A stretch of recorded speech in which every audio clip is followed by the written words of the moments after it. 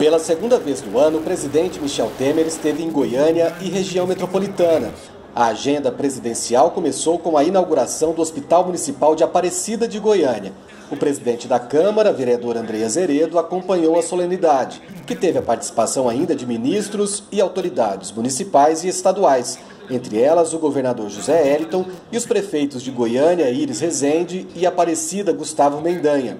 A unidade terá capacidade para 1.200 atendimentos de urgência e emergência e mais de 900 internações por mês, além de 11 mil atendimentos ambulatoriais e 25 mil exames. O hospital vai ser inaugurado por etapas ao longo de 2019.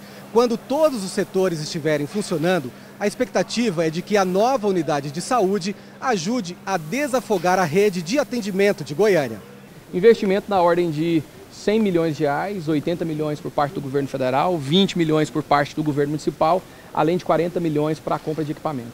Ele é regional, são 55 cidades que poderão estar pactuando conosco, uma abrangência aí de 1 milhão e 200 pessoas que poderão ser atendidas pelo Hospital Municipal. Durante a solenidade, Temer também anunciou a liberação de recursos para a capital.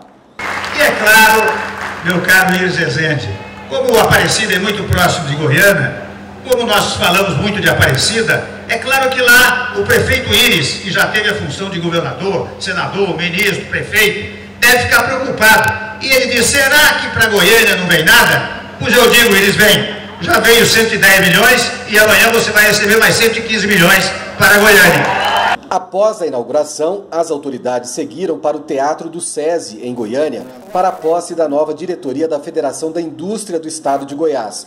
O governador eleito, Ronaldo Caiado, também acompanhou a cerimônia. Michel Temer foi homenageado com a Comenda do Mérito Industrial, a maior honraria da entidade. Tanto o presidente eleito da FIEG, Sandro Mabel, quanto o que encerra o mandato, Pedro Alves de Oliveira, destacaram a importância da parceria entre o poder público e o setor produtivo para a retomada da economia. Para o presidente André Azeredo, a vinda de Michel Temer pela segunda vez nos últimos meses a Goiânia revela a atenção dispensada à capital pelo governo federal. Nós ganhamos 120 milhões que devem ser concretizados de hoje até segunda-feira, até sexta-feira da semana que vem, para leste-oeste.